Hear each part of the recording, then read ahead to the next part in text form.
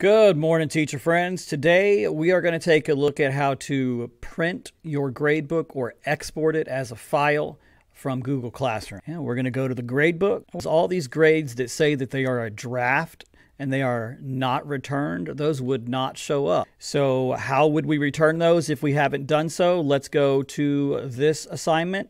We would check all students and we would hit the return button at the top and that's going to return that assignment to all the students. To print out our gradebook, we're just going to go to any one of these assignments, and inside the assignment, we're going to go to the setting. We're going to download all grades. We could do just this one assignment or we could do all grades if we want the whole gradebook. Downloaded it as an Excel file. So here I have my gradebook that was downloaded as an Excel file from Google Classroom. If I want to print it, I can now print it right here from the Excel file that downloaded to the computer.